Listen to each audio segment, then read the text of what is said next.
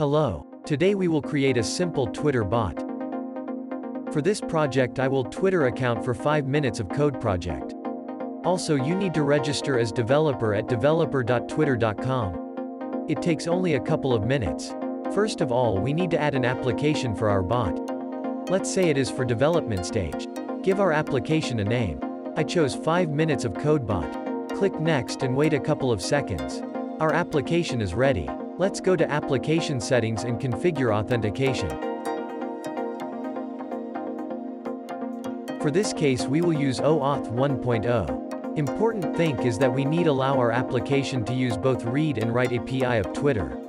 Also we need to fill in some mandatory information. That is all we need to do on Twitter side.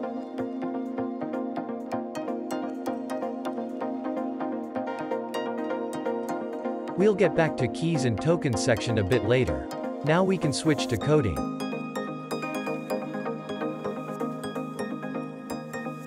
First of all I will initialize my Golang project.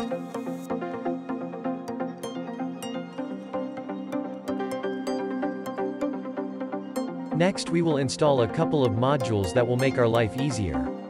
I will leave link to them in description. One of them is Twitter Golang Client. It is a wrapper over Twitter API. Let's install it. Second module that we need will help us with authentication. Also installing it. Now we are ready to do some coding. Import the modules we just installed.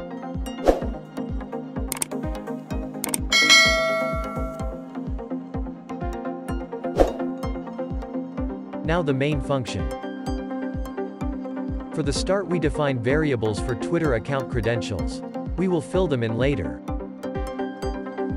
Creating objects for OAuth authentication process. We need a config and a token.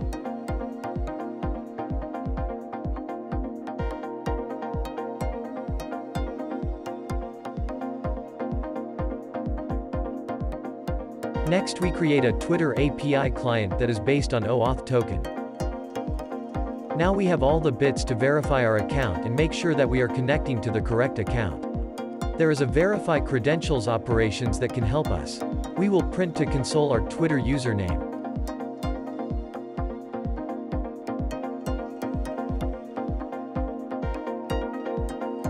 We are left with specifying the credentials. They can be taken from Twitter developer portal. Just regenerate consumer keys and copy them to our code.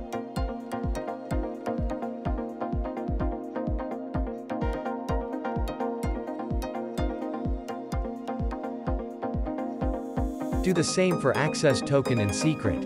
For sure in real-life use case it should be done in more secure way. Never store credentials in your code in plain text.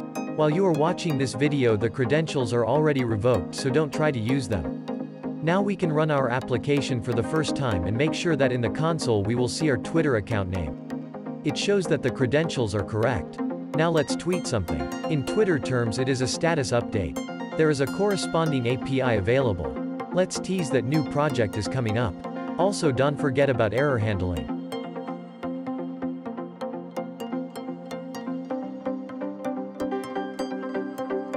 Run our application again and we can see that it worked fine. We can switch to the browser and refresh the Twitter page and see that our tweet appeared. This concludes our simple demo for Twitter bot. This is a minimalistic example that can be extended in future with other nice feature. Thank you for watching.